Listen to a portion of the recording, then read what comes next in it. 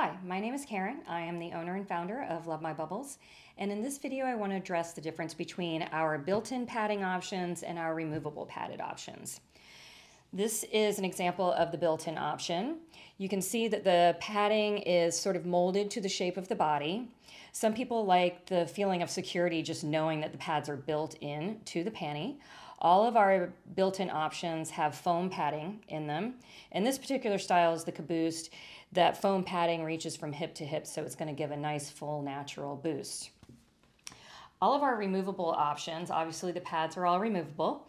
Uh, the advantage to this is that you can have one pair of underwear that you like and switch out padding to thin or thick, foam, silicone. So it's sort of more economical because you have so many options in one style.